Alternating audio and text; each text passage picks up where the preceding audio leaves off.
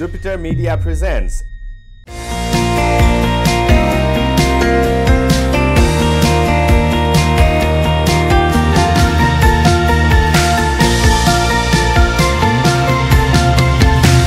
Destination Australia, promoting Australian education and development of Nepalese diaspora in Australia. नमस्कार दर्शकबिन कार्यक्रम destination अस्ट्रेलियामा यहाँहरूलाई स्वागत छ। हामीले अस्ट्रेलियामा रहेका विभिन्न शैक्षिक संस्थाहरूको बारेमा जानकारी त्यहाँको शिक्षाको गुणस्तर ने नेपाली विद्यार्थीहरूको एक्सपिरियन्स र नेप्लिज डायस्पोराको डेभलपमेन्टको बारेमा निरन्तर रूपमा तपाईँहरूलाई जानकारी गराइरहेका छौँ। कहिलेकाहीँ हामी फिजिकल्ली त्यहीँ युनिभर्सिटी कलेजमै भिजिट गर्छौँ भने कहिलेकाहीँ त्यहाँका शोधकर्ताहरू त्यहाँका नेपालीहरूको बारेमा तपाईँहरूलाई कुराकानी समेत प्रस्तुत गर्ने गरिरहेका छौँ। यसै सन्दर्भमा आज मैले विशेष गरी नाइन्टिन नाइन्टी सिक्समा एउटा अन्तर्राष्ट्रिय विद्यार्थीको रूपमा अस्ट्रेलिया गएर स्विनमन युनिभर्सिटीमा बिजनेस त्यसै गरी भिक्टोरिया युनिभर्सिटीमा ल पढ्दै आफूलाई एउटा प्रोफेसनल लयरको रूपमा चिनाउन सफल हुनुभएको टोनु घतानीसँगको कुराकानी आजको विषयवस्तुमा हामीले पारेका छौँ। सर्वप्रथम उहाँलाई कार्यक्रममा स्वागत गरौँ। टोनु सर यहाँलाई कार्यक्रममा स्वागत छ। थ्याङ्क यू मनोज तपाईँलाई पनि नमस्ते र तपाईँको श्रोताहरू सबैलाई नमस्ते। हजुर। विशेष गरी यो हामीलाई एउटा एकदमै लक्की इनफ हामी सम्झन्छौँ कि हामी जहाँसुकै गए पनि नेप्लिज ड्यासपोराले राम्रो पर्फर्मेन्स गरिरहेको छ र नयाँ यङ्स्टरहरूलाई बाटो देखाइरहेको छ। यो विषयमा कुरा गर्दाखेरि नाइन्टिन नाइन्टी सिक्समा अस्ट्रेलिया एउटा अन्तर्राष्ट्रिय विद्यार्थी भएर जाँदै गर्दाखेरिको छोटो अनुभव हामीलाई सुनाइदिनुहोस् न। अवश्य अवश्य। जब मैले स्कुलिङ मैले चाहिँ सेन्ट जेभियर्स झलाखेलबाट गरेँ वान टु टेन अनि आइएससी सेन्ट जेभियर्स क्याम्पस म्याथिकलबाट गरेँ। त्यसपछि मलाई युएस र अस्ट्रेलियाको दुईवटा अप्सन थियो। पर्सनल कारणवश मैले अस्ट्रेलिया चुज गरेँ। म जाने बेलामा मेलबर्नमा आई थिङ्क पचास सयजना मात्रै नेपालीहरू थिएन होला र त्यति बेला प्राय हामी पढ्ने नै हेतुले नै हामी चाहिँ अस्ट्रेलिया पुगेका थियौँ र पढाइ सकाएर फेरि नेपाल चाहिँ फिर्ता हुने हाम्रो हाम्रो हाम्रो हाम्रो गोल थियो त्यो गोल किन थियो भन्दाखेरि त्यति बेला अन्तर्राष्ट्रिय विद्यार्थीहरूले पिआर त्यति इजिली पाउँदैन थियो। अन्तर्राष्ट्रिय विद्यार्थीले पिआर पाउनको लागि देश फिर्ता हुनै पर्थ्यो। तर तर चाहिँ फर्चुनेटली जब हाम्रो पढाइ सकिन लाग्यो त्यति बेला नयाँ गभर्मेन्ट आयो जोन हवार्डको र उसले नयाँ नीति ल्याएको हुनाले हामी चाहिँ एक किसिमले चाहिँ चाहिँ चाहिँ लक्की ब्याच ब्याच पऱ्यो अ, त्यो त पिआरको भइहाल्यो। तर पनि नाइन्टिन नाइन्टी सिक्समा त्यति बेला हामीले चाहिँ नेपालीहरू कम्ती भएको हुनाले र र हाम्रो अभिभावकहरू पनि धेरै कम भएको हुनाले चाहिँ त्यति बेलाको हामीले म्याक्सिमम् चाहिँ लेबर फोर्सको हामीले युटिलाइज गर्न सकेनौँ भन्ने मलाई लाग्छ अहिले। किन भन्दाखेरि नाइन्टी सिक्समा भर्खरै आइटी आइरहेको थियो।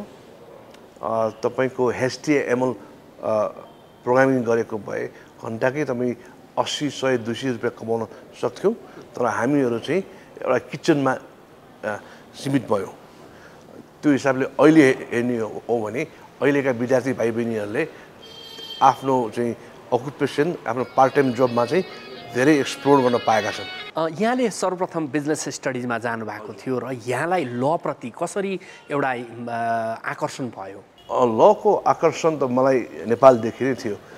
क्लास नौमा जब म जिएसमा पढ्थेँ लक्कीले चाहिँ अमेरिकन टिचरहरू आएको हिसाबले अब्राहम लिङ्कन महात्मा गान्धी को बारे चाहिँ पढ्दाखेरि सबैजना वकिल भएको हिसाबले प्लस वकिल भनेको चाहिँ ल भनेको चाहिँ एउटा चाहिने वस्तु भएकोले हिसाबले चाहिँ ल इन्ट्रेस्ट यसको लाइफदेखि नै थियो। म अस्ट्रेलिया गएर पनि म ल विदेशभन्दा ल पढ्ने मेरो इच्छा राखेको थिएँ। अलि महँगो र लामो हिसाबले र अफोर्डेबिलिटीको हिसाबले चाहिँ मैले ब्याचलर्समा सीमित राख्नु पऱ्यो जब मेरो पिआर भयो जब सिटिजन त्यसपछि मैले आफ्नो जुन स्कुल लाइफको एउटा गोल थियो त्यो त्यो प्यासन चाहिँ मैले फेरि कन्टिन्यू गरेँ। जब यहाँले लमा आफूलाई एउटा स्किल्ड बनाउनु भयो त्यसपछि यहाँले चाहिँ यो जुन कतानी लयर्स भनेर यहाँ अहिले प्रिन्सिपल लयरको हैसियतमा हुनुहुन्छ र त्यहाँ रहेका नेपाली र इन्टरनेसनल सिटिजनहरूलाई चाहिँ एउटा लमा आवश्यक पर्ने सहयोग गरिराख्नु भएको छ। यो कतानी लयर्सको चाहिँ विषयमा थोरै हामीलाई केही भनिदिनुहोस् न। यो हाम्रो गथाने लज भनेको बुटिक ल फर्म हो। र र अर्को शब्दमा भन्ने हो भने यो कम्युनिटी बेस्ड ल फर्म पनि हो। हामी सीमित कम्युनिटीमा हामी हाम्रो लिमिट छ स्पेसली सब कन्टिनेन्ट मार्केटमा र सब कन्टिनेन्ट मार्केट मा हुने चाहिँ लिगल सर्भिसहरू हामी प्रोभाइड गर्छौँ जस्तै immigration property conveyancing family law divorce बिजनेसको सेल एन्ड पर्चेस र सानातिना क्राइमहरू चाहिँ हामी हाम्रो लिमिट छ यो चाहिँ हामी पेड सर्भिस हो तर पनि हामीसँग अर्को एउटा सर्भिस छ। हामीले के देखाएको छु भन्दाखेरि एकदमै रियर केसमा अ, कतिजना नेपाली अथवा सब कन्टिनेन्टका चाहिँ चाहिँ जो विदेशी छन् अस्ट्रेलियामा पैसाको कारणले चाहिँ लिगल सर्भिस उनीहरूले पाएको छैन भने हामीहरू चाहिँ फ्रीमा चाहिँ हामी हामी गरिदिन्छौँ। धेरै राम्रो। जस्तो हामीले यो डेस्टिनेसन अस्ट्रेलिया टेलिभिजन सो मार्फत नेप्लिज डास्पोराहरूको विकासको बारेमा पनि कुरा गर्ने गर्दछौँ। यहाँले त्यहाँ कुरा गर्दै गर्दा हाम्रो नेपालीको कल्चर भनौँ अथवा त्यहाँ ल्याङ्ग्वेजको कुरा टेम्पलको कुरा स्पोर्ट्सको कुरा र हाम्रो यङ्स्टरहरूको इन्टरप्रेनरसिपको कुरालाई चाहिँ कसरी निहाल्नु भएको छ पछिल्लो समयमा? नेपालीहरूको चाहिँ अब तपाईँ सुरुमा भन्नु भइसक्यो हामी यो फर्स्ट यो जुन हामी माइग्रेन्ट छौँ फर्स्ट जेनेरेसन माइग्रेन्ट छौँ हामीहरू हार्ड वर्किङ छौँ अनि हामीहरू चाहिँ मेहनती छौँ हामीमा गोल छ। त्यो भएकोले गर्दाखेरि चाहिँ धेरै नेपाली माइग्रेन्टहरू चाहिँ अरू माइग्रेन्ट ग्रुपभन्दा पनि माथि छ। जस्तै अस्ट्रेलियाले एउटा रिपोर्ट तयार पारेको थियो। मा चाहिँ सबभन्दा बढी प्रोडक्टिभ माइग्रेन्ट को भन्नेमा नेपालीहरू चाहिँ त्यहाँ फर्स्टमा छन् ओके? त्यो हिसाबले चाहिँ I think as a overall जब मार्केटमा चाहिँ नेपालीहरू चाहिँ धेरै अगाडि छ एज अ ओभरअल पपुलेसनमा अरू कन्ट्रीको पपुलेसनभन्दा चाहिँ त्यो चाहिँ तपाईँको लेबर फो फोर्समा अब अब अरू क्षेत्रमा चाहिँ चाहिँ तपाईँले भने जस्तो स्पोर्ट्स चाहिँ र अरू मेन स्ट्रिममा चाहिँ आउन हामी अझै बाँकी छ। धेरै सेकेन्ड जेनेरेसनका चाहिँ भाइ बहिनीहरू चाहिँ चाहिँ स्पोर्ट्सतिर लागेका छन् के लागेका छन् त्यो पनि चाहिँ हामी चाहिँ त्यहाँ पनि हामीले पछि पाँच दस वर्षमा त्यो एरियामा पनि हामीले चाहिँ राम्रो गरेको हामीले देख्नेछौँ। अब आई थिङ्क चाहिँ ओभरअल चाहिँ हाम्रो पपुलेसन चाहिँ राम्रै छन्। ओके जस्तो यो हामीले चाहिँ त्यहाँ गएको नयाँ जेनेरेसनको बारेमा चाहिँ नि उनीहरूले नेपाललाई बिर्सिने हुन् कि?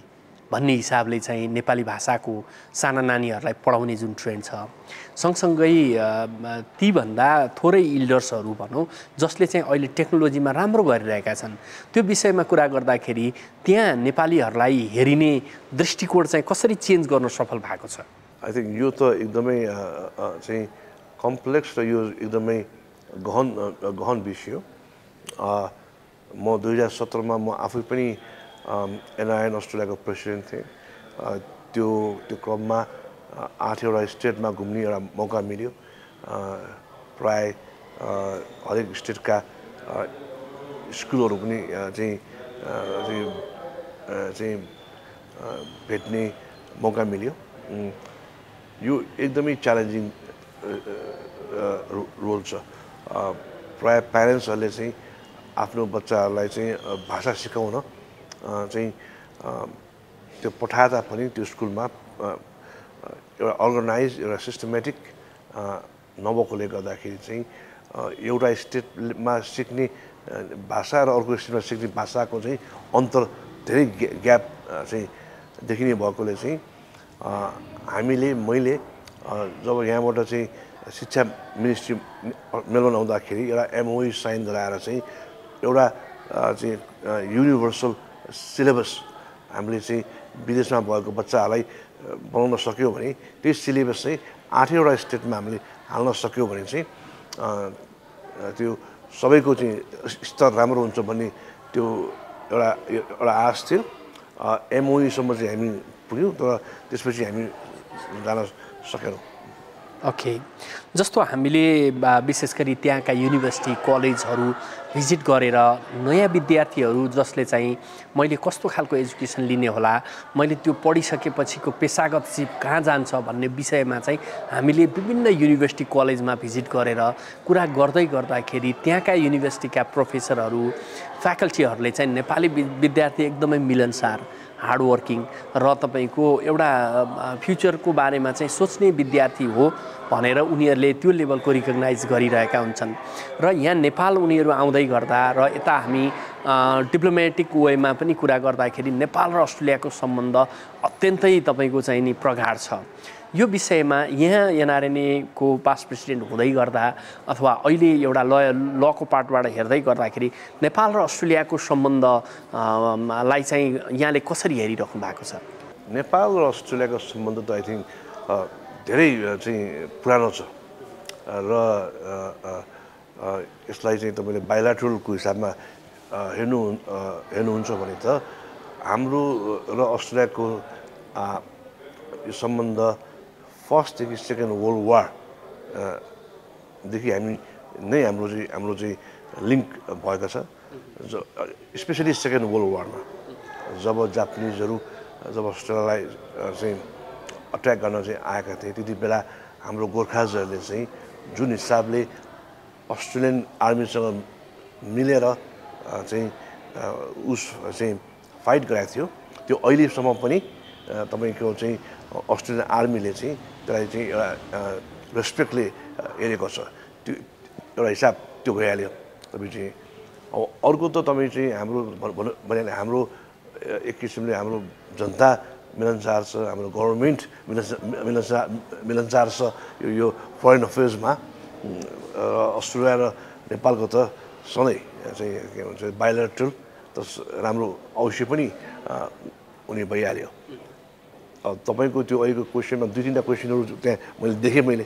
लास्टमा बाहिर देखेँ सुरुमा चाहिँ तपाईँले भन्दै हुनुहुन्थ्यो कि चाहिँ हाम्रो नेपाली चाहिँ चाहिँ विद्यार्थीहरूले चाहिँ पढ्न जानुभन्दा अगाडि रिसर्च गरेर चाहिँ जान्छ भन्ने तपाईँले भन्नुभयो। आइडियली चाहिँ आइडियली मलाई के लाग्छ भन्दाखेरि जो पनि विद्यार्थीहरू भाइ बहिनीहरू चाहिँ आइदर युएस होस् अस्ट्रेलिया होस् जहाँ इन्डिया होस् जहाँ पनि पढ्न जान्छ रिसर्च गरेर पढ्न जान पर्छ भन्ने मेरो मान्यता हो। जस्तै नाइन्टी सिक्समा जब म अस्ट्रेलियामा पढ्न जान लागेको थिएँ अस्ट्रेलियाको बारे केही पनि थिएन न गुगल थियो न के थियो। हाम्रो चाहिँ ठम्मेलमा जिए भन्ने हुन्थ्यो त्यहाँ सानो एउटा लाइब्रेरी थियो लाइब्रेरीमा गएर अस्ट्रेलियाको बारे मैले बुझेर के रहेछ गरेर त्यो अनुसारले चाहिँ म अस्ट्रेलिया पढ्न गएको थिएँ। तर अहिले झन् यो सोसियल मिडियाको चाहिँ जुन यो टेक्नोलोजी छ जुन युज हुनुपर्ने छ मैले चाहिँ अलिक कम युज भएको देखिरहेको छु। यो नयाँ पिँढीमा चाहिँ होइन? चाहिँ तपाईँले हन्ड्रेड पर्सेन्टको रेसियो हेर्नुहुन्छ भने बिस तिस पर्सेन्ट तिस चालिस पर्सेन्टले चाहिँ गरेको बाँकीलाई चाहिँ अलि त्यति राम्रोसँग अध्ययन नगरेको मैले देखेको छु र म अब जो पनि विदेशमा पढ्न जान्छ सबैजना भाइ बहिनीहरूले चाहिँ प्लिज रिसर्च गर्नु के भन्छ अरे खालि युनिभर्सिटीको चाहिँ करियर आउटको मात्र होइन त्योभन्दा बाहे बाहेक पनि अपर्च्युनिटी कहाँ कहाँ छ त्यो कोर्स पढ्यो भने कुन कुन देशमा फाइदा छ यो सब चाहिँ रिसर्च गरेर चाहिँ पढ्न जान चाहिँ म एडभाइस गर्छु। हजुर पक्कै पनि। यहाँले एउटा अस्ट्रेलियन लको बारेमा डेफ्थ नलेज भएको मान्छे। नेपालबाट अस्ट्रेलिया जाँदै गर्दाखेरि सजिलो होस् भन्ने उद्देश्यले तपाईँको भएका सम्बन्ध पनि नभएका सम्बन्ध पनि जोडेर पेपर बनाएर जान्छन् र गइसकेपछि त्यहाँ निकै दुःख पाउँछन्। यो एकदम बिटर एक्सपिरियन्स हो। इन्टरनेसनल स्टुडेन्ट विशेष गरी नेपालीहरूको। यो केसेसमा विद्यार्थीहरू कतिको चनाखो हुन जरुरी छ? किनभने तपाईँको यहाँबाट जाने विद्यार्थीहरूले अहिले सजिलो देख्छ तर त्यहाँ गएपछि एउटा एकदमै कडा खालको जीवन बिताउनु परिरहेको तितो यथार्थता छ। यो विषयमा यहाँ के भन्नुहुन्छ? जुन कुरा हामी हामी फ्रड गर्छौँ जुन हामी मिसलिड गर्छौँ होइन यो कमन सेन्सले भन्छ कि त्यो कुरा गर्नु भएन। त्यो कुरा गर्नु भएन। र म म हरेक कुराहरू चाहिँ म आई चाहिँ डिस्करेज गर्छु प्रायः जस्तो इभन चाहिँ म यो कुरा पनि डिस्करेज गर्छु।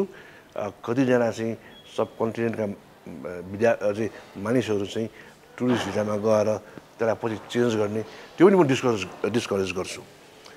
किन भन्दाखेरि तपाईँ चाहिँ अहिले तपाईँले चाहिँ त्यो भिजाको मिसयुज गरेर अहिले भिजाको मिसलिड गर्नुभयो भने हाम्रो नेपालको रिस्क लेभल बढ्दै जान्छ र भविष्यमा एउटा जेन्युन एउटा असल व्यक्तिहरूले चाहिँ भिजा पाउनमा चाहिँ गाह्रो चाहिँ अवश्य पर्छ अब तपाईँले कुरा गर्नुभयो जुन चाहिँ जुन म्यारिज सही म्या म्यारिजै होइन त्यो म्यारिज गएर जानु र त्यो दुःख चाहिँ पाउनुको चाहिँ कारण चाहिँ चाहिँ तपाईँको चाहिँ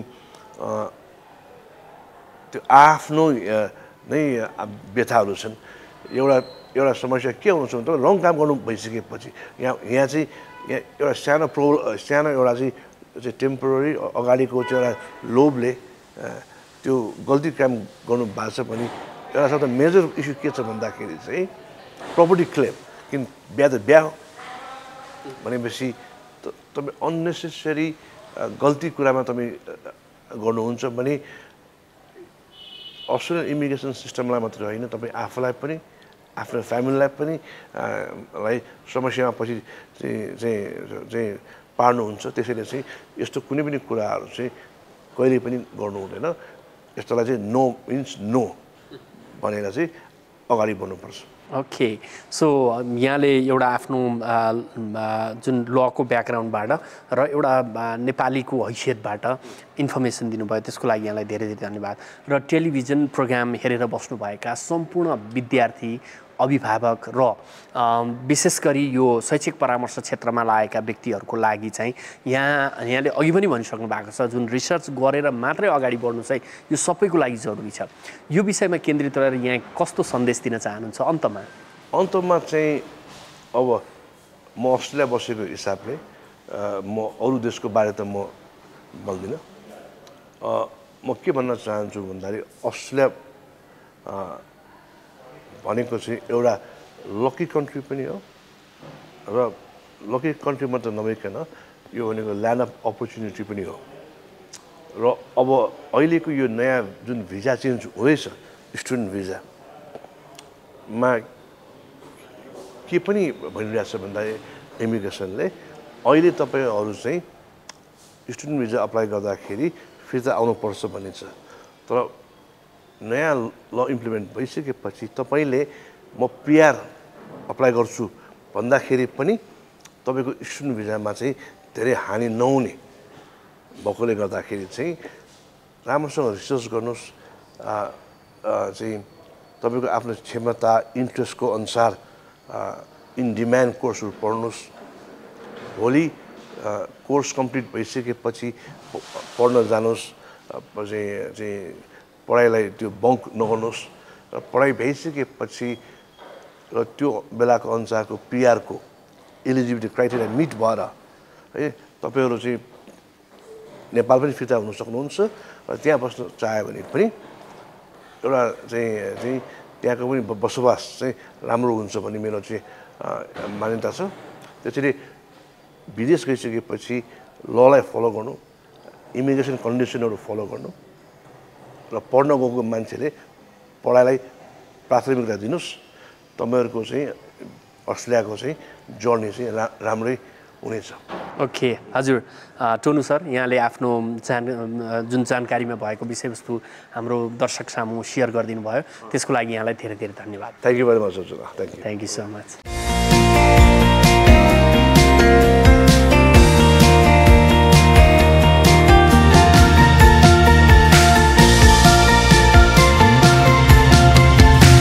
Destination Australia, promoting Australian education and development of Nepalese diaspora in Australia.